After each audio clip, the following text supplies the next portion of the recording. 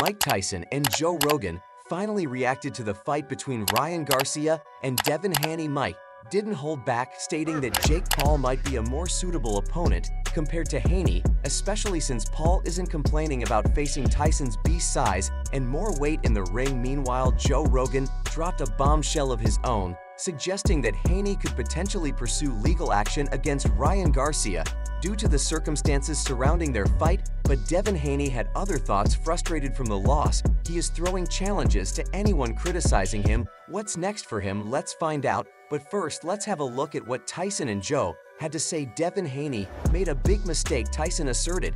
And we all know when Tyson says something like this, it carries the weight of years of experience in the ring. He talked too much, underestimated Ryan. You can't underestimate a fighter like that, especially one with Garcia's speed and power. Haney seemed overly confident, almost dismissive of Garcia's capabilities. It's a classic case of underestimating your opponent. Garcia's mental and physical condition had been a topic of discussion in the lead-up to the fight, many questioned his readiness, but once the bell rang, Garcia silenced all doubts he unleashed a barrage of punches that sent shockwaves through the boxing world, reflecting on the psychological aspect of boxing Tyson, continued Haney's arrogance, got the best of him in this sport mental toughness is just as important as physical prowess. Garcia dropped Devin Haney three times en route to one of the most stunning upset victories in recent boxing history, Garcia prevailed by majority decision with one judge, scoring the fight a draw Garcia's power and speed. Where early factors Haney lacked adaptability,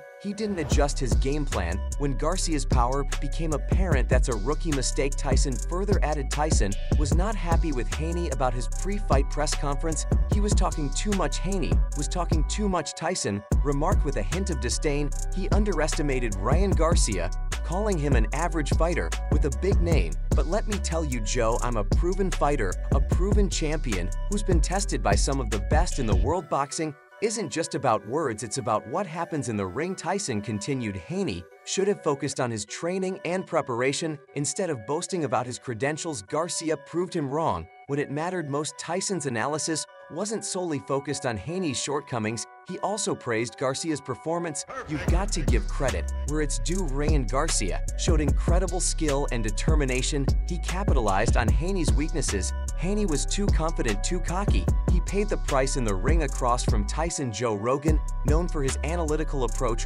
Rogan wasted no time in addressing the controversies surrounding the Garcia versus Haney showdown. Joe Rogan said Ryan Garcia missing weight limit cheapens win over Devin Haney. Ryan Garcia's victory is somewhat tainted by the weight issue Rogan oined, coming in over the limit raises questions about professionalism and sportsmanship making weight is a fundamental part of being a professional fighter. It sets the tone for the entire event. Instead of staying in the zone for the upcoming fight, Garcia's behavior online started to get a bit strange. He began talking about conspiracy theories like the Illuminati and Bohemian Grove. It seemed like he was more interested in these topics than preparing for the match. Garcia also claimed to have a photo of a real alien and made wild accusations about celebrities being influenced by Satan. These distractions quickly shifted attention away from the fight itself. People were left wondering what was going on with Garcia. Garcia's pre-fight antics were concerning. It's not just about the numbers, it's about integrity and respecting the rules of the sport. And Joe thinks there is a legal view of the fight. As well, you know Mike Haney could potentially sue Ryan for coming in overweight Rogan remarked missing weight isn't just a breach of professional conduct. Imagine training for weeks preparing yourself mentally and physically only to have your opponent show up with more weight. They should be looking at guys like me, Mike Tyson, only bit one ear. I want to bite both and Haney is actually lawsuiting Ryan Devin Haney, was not pleased the aftermath of his fight with Ryan Garcia had left a sour taste in his mouth, and now he was taking action. Haney was gearing up to file a lawsuit against Garcia, accusing him of cheating during their match. It was a bold move, but Haney felt it was necessary to set the record straight. The weight limit is a fundamental rule in boxing. It's there for a reason to ensure fairness and safety for both fighters. Haney declared in a statement to the press I trained hard made weight and followed the rules seeing Garcia come in heavier was disappointing and unacceptable reflecting on the events leading up to his decision to pursue legal action, Haney was resolute cheating has no place in boxing. By taking this step, I aim to hold Garcia accountable for his actions and ensure fairness for all athletes. But is Devin just crying should he accept the loss and move on when the news of the lawsuit claims reached Ryan Garcia? He took it to Twitter Garcia's initial tweet, accompanied by two crying M emojis, seemed to downplay the weight discrepancy, stating I don't know 3 is nothing stop crying. He followed up with another tweet, asserting his readiness and confidence despite the weight advantage. I feel great, and I got a 3 bit advantage. Let's go ha ha ha winners, do what they have to do. I'm still sharp as the tweets continued. Garcia's tone became more assertive and nationalistic, he declared all that Viva Mexico, we're leaving with his head belt, will always be there. Garcia further defended his position, stating why would I force myself to make weight so I can be weak now?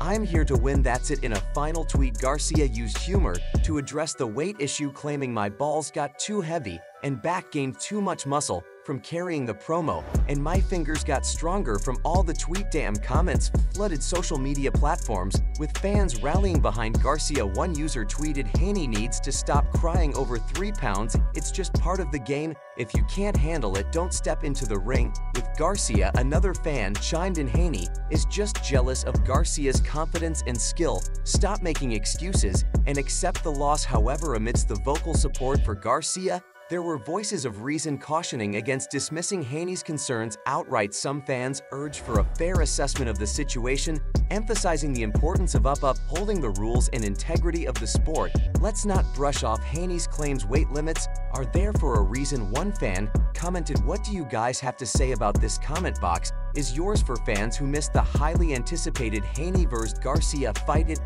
was truly a spectacle filled with unexpected turns and explosive moments right from the start. The opening punch of the bout, a powerful left hook from Ryan Garcia, caught Devin Haney off guard, setting the tone for the entire fight. Although Haney recovered quickly, there seemed to be a strategic game plan at play that wasn't immediately apparent to everyone watching Garcia's decision to miss weight initially seemed perplexing, but as the fight unfolded it revealed itself as a calculated move.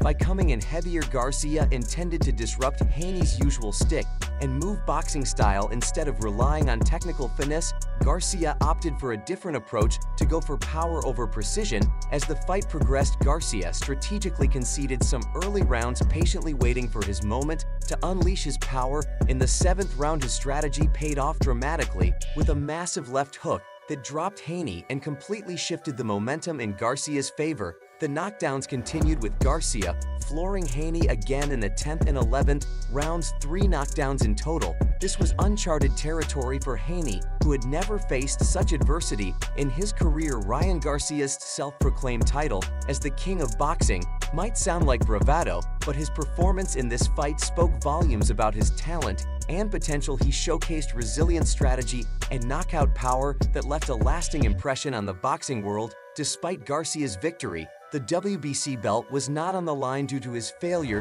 to make weight as a result Haney's title as WBC champion is now in question leaving the title vacant after the significant loss. Devin Haney's call for a rematch with Ryan Garcia has his added another layer of drama to their rivalry, but the question of whether he deserves one is up for debate.